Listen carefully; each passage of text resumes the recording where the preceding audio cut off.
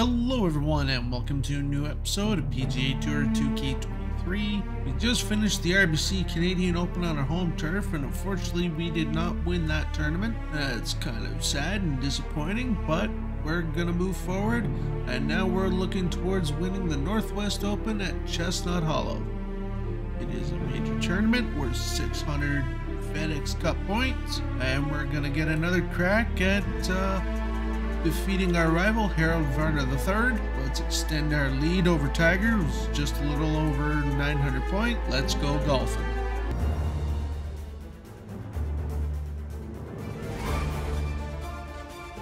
Two K Sports, in association with the PGA Tour, is delighted to present the season-long race for the FedEx Cup. Today's coverage of the Northwest Open is about to start. Hello, I'm Luke Elvy alongside 2002 PGA Championship winner Rich Beem, who's in the booth. And it's a hello to Henni Koyack down on the course following our featured group. Hey guys, I can't wait to watch these two go at it again. It was an incredible battle first time round, and I think there'll be a few shots fired out here. Rich, how do you see it? Their last matchup saw HV3 as the winner, so let's see if this player uses that to fuel their performance on the course this week. Yes, he's got a sharp tongue and a clever game. Let's see how HV3 goes up against this player in this rivalry.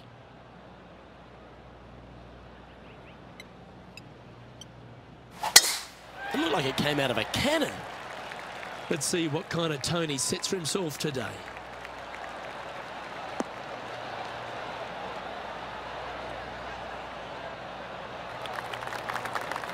Handy effort, that one.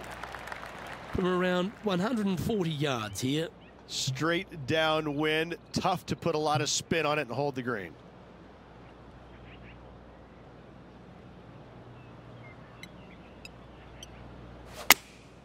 Choosing the 9-iron here. This one looks just a fraction too long to me. Yep, that one's on the dance floor. You can two-putt that for sure. Scorecard filled with threes never hurts. Good putt to make this.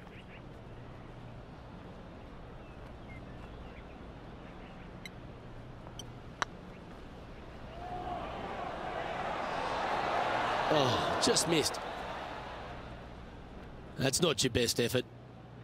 Playing their fourth shot.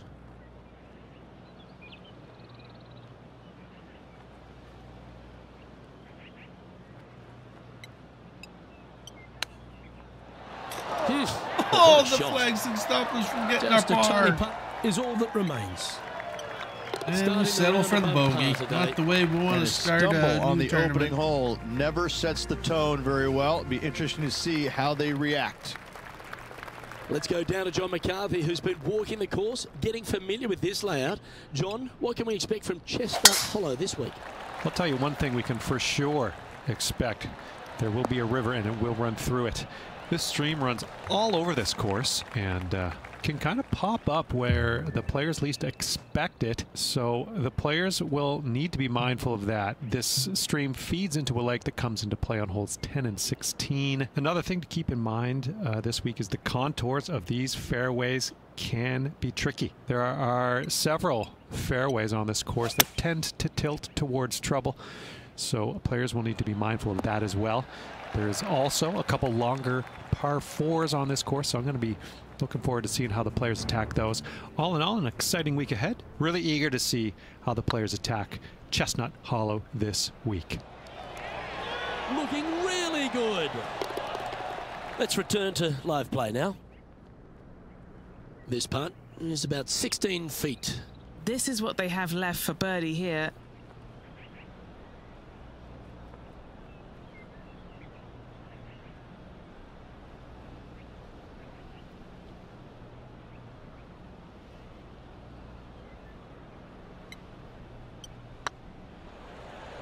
This one's tracking. Big birdie putt. And what a Let's go. back. Get Nice that shot back. And stepping up the standings after that effort. And after a birdie at the last, they take the honour on the hole.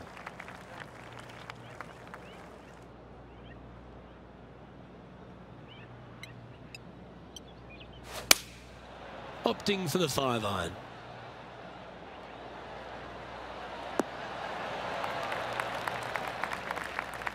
Well, well played. Always nice to have a birdie putt.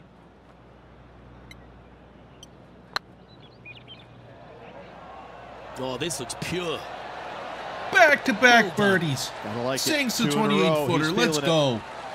Moments like that deserve another viewing. Let's take a look at the replay. Yeah, let's see this again. Have this one on repeat.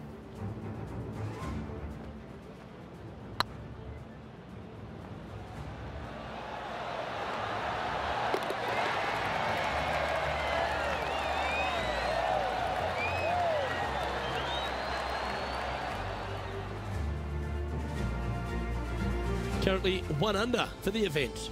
And after that good play, moving up the leaderboard. Let's see what happens here on the fourth.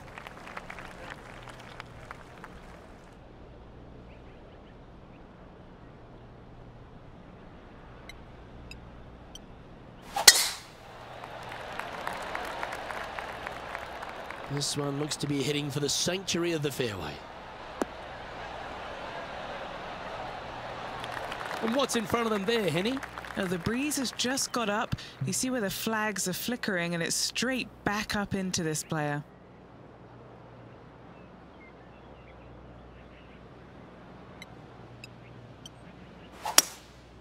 Going with the hybrid.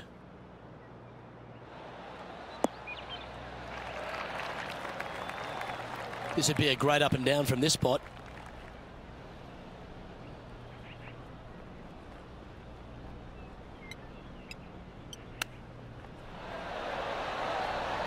Ooh, that almost went down.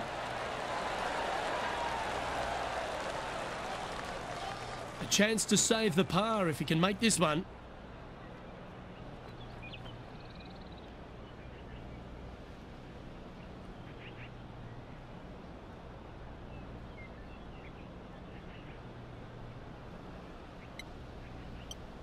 It's tracking.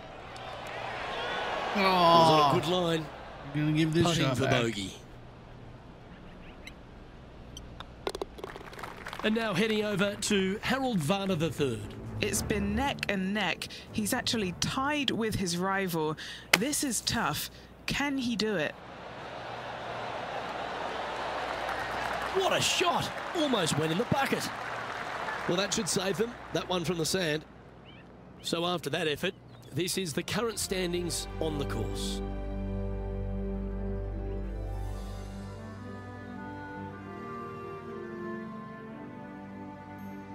And a par four awaits at this next hole.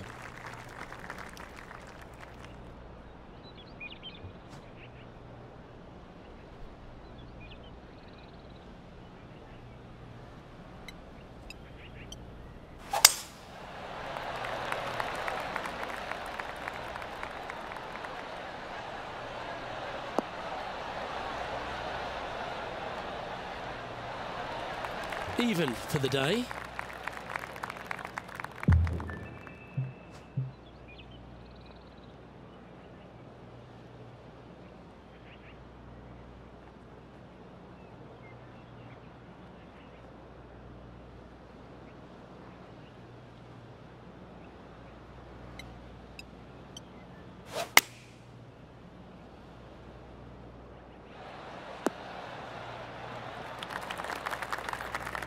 Getting ready to play their third. Four shots behind our leader.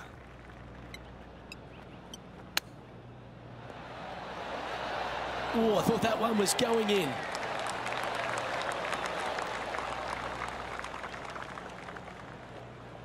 And he's down there. You got a read? He's 13 feet out. Unlucky for some. Well, HV3 looking a little gloomy because this putt could put him down behind his playing partner. Solid Well, par. that's a momentum maintainer. Well done. Unreal display this week with that wand.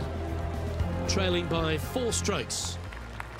The sixth hole here at Chestnut Hollow Ridge is a big par five, 559 yards from those back tees. Luke, I got to say, though, the big hitters that are not afraid to challenge that stream going down left-hand side, they could reduce this to almost nothing. This fairway is firm and fast, and that golf ball will chase out forever. You must avoid the bunkers down the right-hand side, though, if you've got any chance or any hope of going for this green in two. Coming up just a little bit shy of the green is actually a good leave. Leaves a simple pitch shot to a very long and slightly undulating green. And here we are with the third shot. Currently four shots off the pace.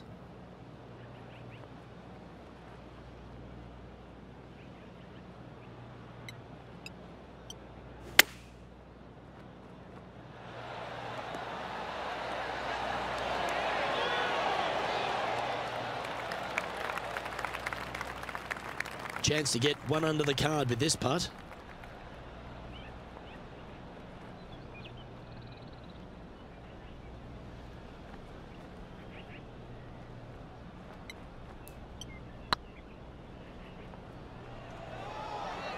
Looking really good. Oh, what an excellent time to make a big big putt putt. like that. And you bet their rival knows just what happened. And let's have 30 another look footer. that. Let's go. What an amazing putt from way out.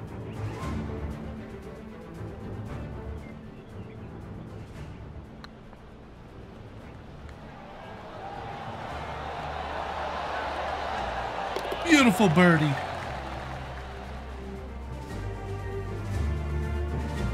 And now let's head over to Harold Varner III. Yeah, he just made bogey on that last one. And back to the play, shall we?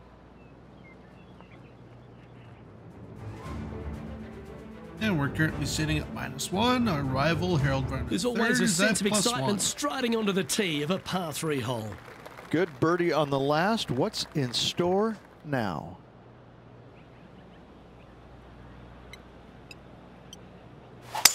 Beautiful swing there.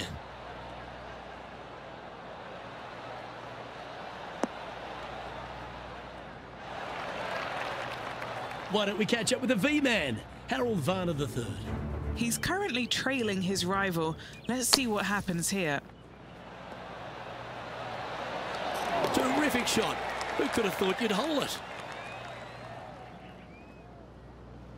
Sitting at one under the card.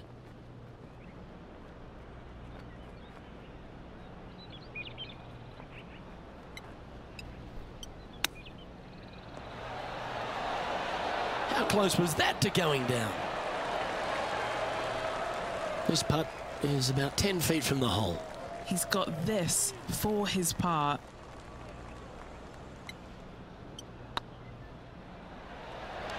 Okay, steady now. Three feet to go here to the hole. Hang on, this looks pretty handy. And unfortunately heading in the wrong direction on the leaderboard after that hole. This hole is a long par four.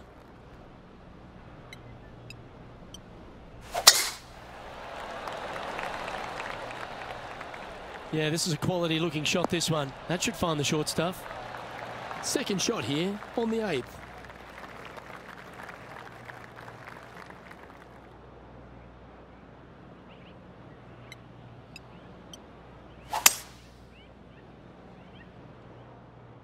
Just a bit outside into the rough. Well, this is one of those lies that dictates a shot. It doesn't seem like it's a tough one.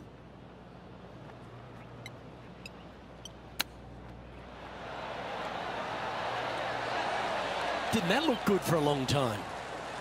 A par putt on the table. Tiger Woods back in his familiar spot, currently in the lead as we head to the next tee. We've reached the ninth hole. Time to tee off.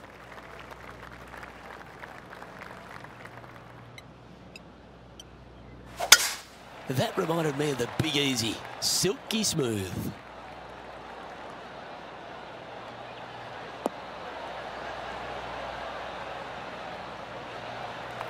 It was a big impact for a lot of players playing alongside Tiger Woods. They almost got sort of, you know, spooked by the occasion. Why was that? More than anything else, it's the fact that they're playing in front of more people than they ever had in their life before. And this rings true for, I think, every single player out there, whether it was Ernie Els, Vijay Singh, anybody from that era you had more eyeballs on you at that moment than anybody else because Tiger carried the biggest crowds every single tournament. And so sometimes it would be uncomfortable, even for the most accomplished players out there. Some of them will tell you, no, it wasn't a big deal, but I, I can promise you it got their attention and it probably helped them in a certain sense because when you played in front of that many people, Luke, you wanted to focus. You wanted to put your best foot forward because there is no worse feeling in the world than going out and laying an egg in front of 30,000 people. I can promise you that. That's why I enjoyed playing with him because when you went out there, you knew you had to play well. You didn't want to embarrass yourself in front of all those people.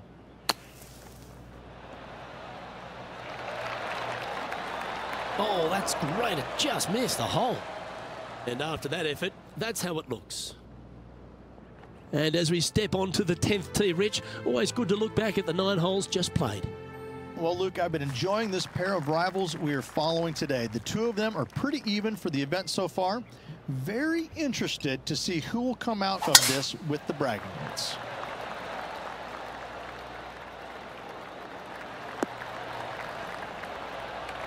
Time for the second shot at the 10th.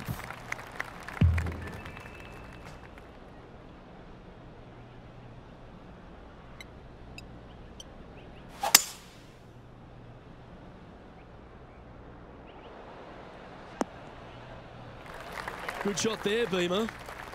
Now just one over par.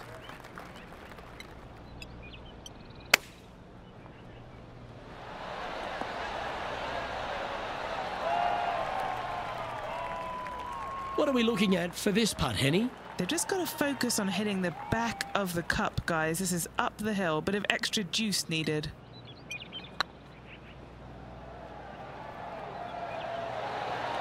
Ooh, right by the hole. Uh, 14 footer.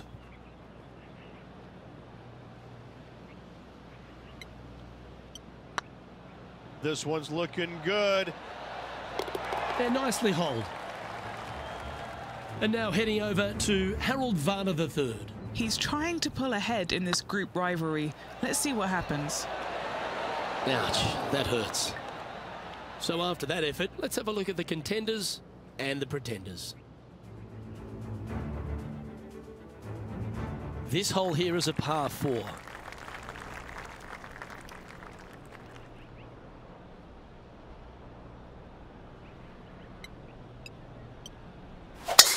Wow, that was just striped. And Henni, what's he looking at here? He's got roughly 105 yards here.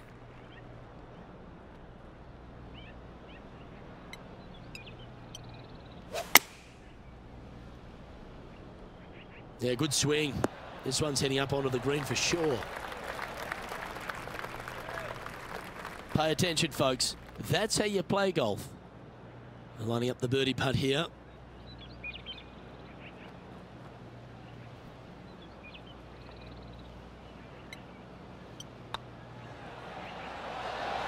You can mark Good it down. birdie putt to get us back to even par. Our current leader is enjoying a one-shot lead. Lovely momentum for this player after that birdie at the last hole. Keep it rolling.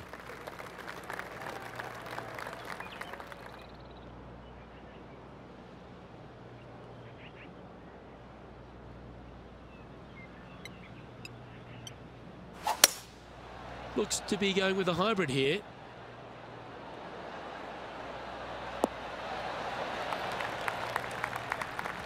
And now let's head over to Harold Varner III. He's just coming off a drop shot on that last hole.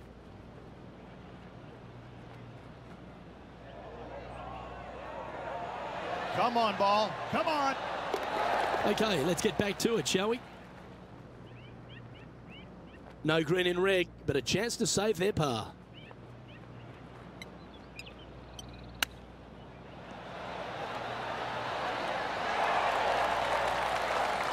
Oh, that's the hands of a surgeon. Lovely touch. Such soft hands. So no movement there. He stays at even with the card. We've arrived at a par four.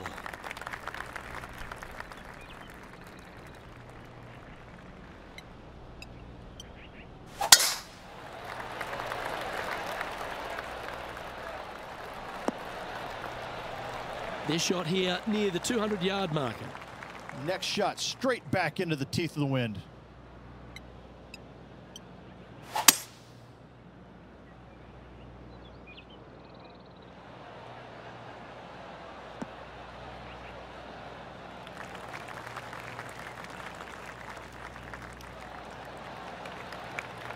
And now heading over to Harold Varner III. He's two strokes behind his rival this week. Oh, wouldn't that have been nice? Let's get back to it, shall we? Getting ready to play their third.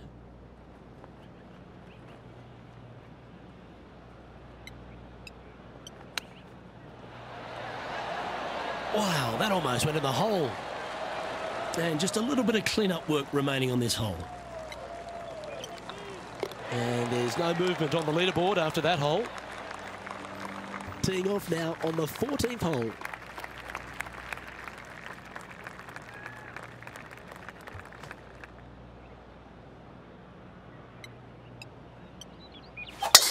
Awesome stuff.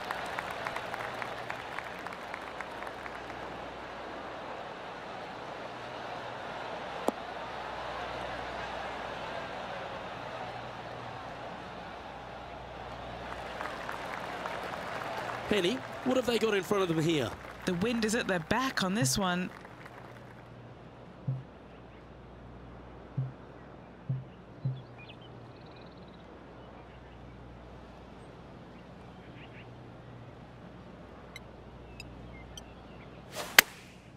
Chosen the pitching wedge here. Feeling strong, going for less club.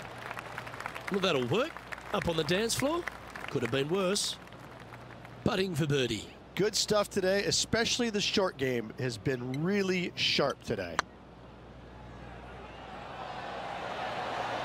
Oh, gee, that line was looking good, wasn't it? Just a four footer remaining. Don't want to miss it. Could be costly. Nicely holed. And for par. Our current leader is up by three shots. Well, let's get amongst this 15th hole.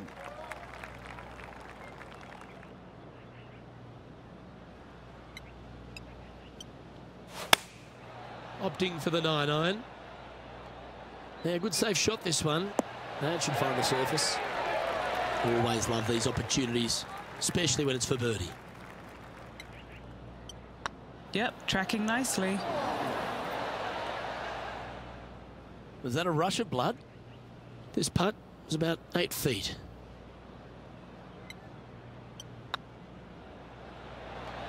That was a gallant attempt. Round the back of the cup and just wouldn't A fall bogey in. putt awaits. It cost us a bogey.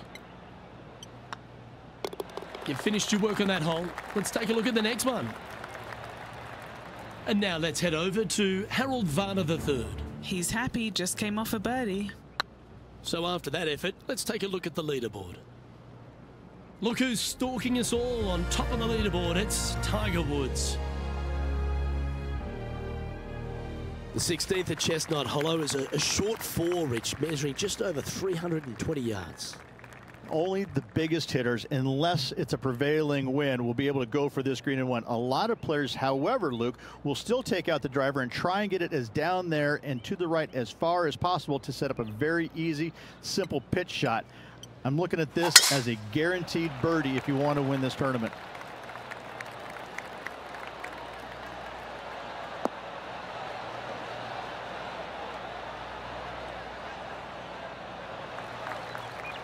And now heading over to Harold Varner III. He's one stroke behind his rival in this event. Harold Varner III setting up his next shot. Oh, it's in the hole and for birdie. And that will move him up the leaderboard as well. Time for the second shot at the 16th.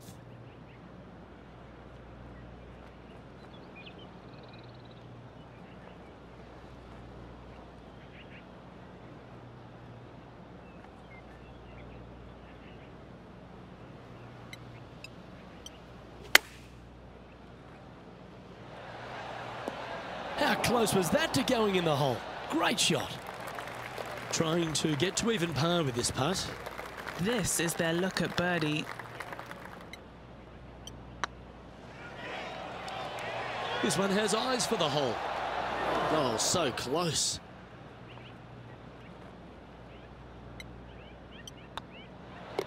Yeah, well hold. Let's move on to the next. Let's see what happens here at the 17th.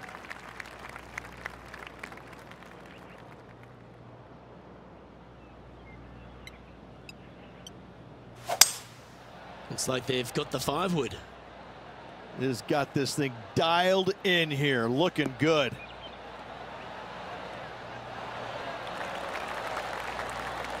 This would be a great up and down.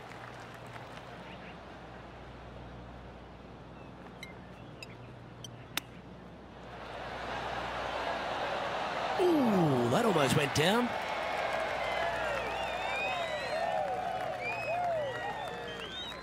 What's in front of them, Henni? 18 footer here is what he's facing. This one to save par.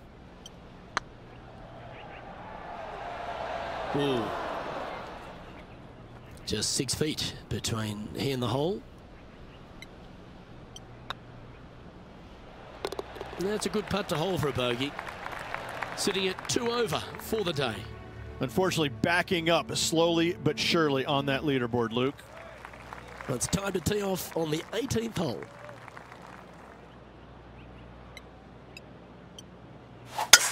Not a bad drive. A little bit shorter than Beamer. Not bad.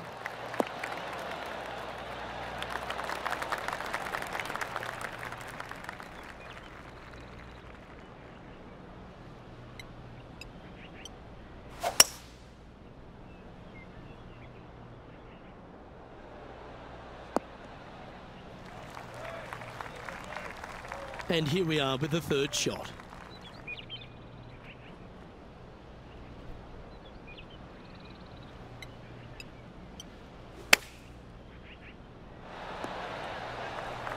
Oh, this will be good for the momentum. Let's make this birdie putt. They've got this left to tie with Harold Varner III.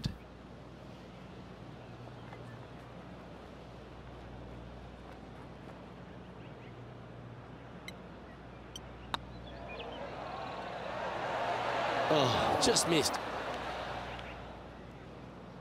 Playing their fifth shot.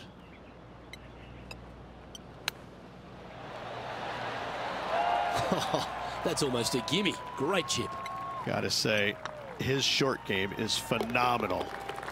And another round safely in the books.